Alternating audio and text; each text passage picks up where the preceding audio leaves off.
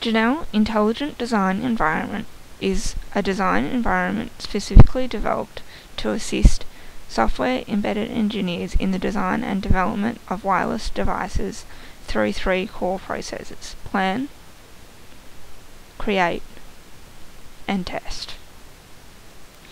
In Plan, Jannal IDE facilitates testing of variables such as wireless protocols, standard profiles, RTOS, and CPU in order to achieve the optimal design. In addition, it also provides decision support and gives real-time dynamic feedback to users. Some metrics and reports are provided as well.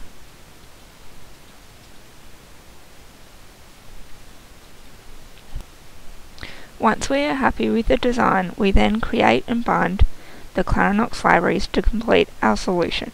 The Create perspective allows us to see the overview of the target platform, fine-tune the library requests, select the compiler to use, change the build parameters and request the library from Clarinox. The test perspective allows us to select what type of test debug tool to be used. Run the external Clarinox debugger tool. We can then utilize the debugger to interact with the target platform. Jannal IDE works by connecting these components. Target, Jannal IDE, Jannal Gateway, and Jannal Build Server.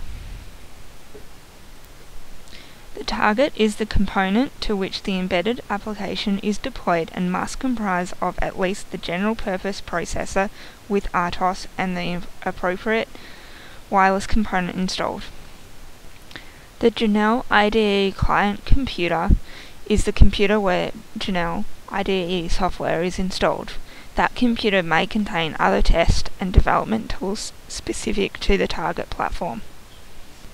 Jannal Gateway is a Clarinox computer which mediates between the Jannal IDE and Jannal build servers. It is responsible for receiving requests from many Jannal IDE clients and responds with the compiled libraries.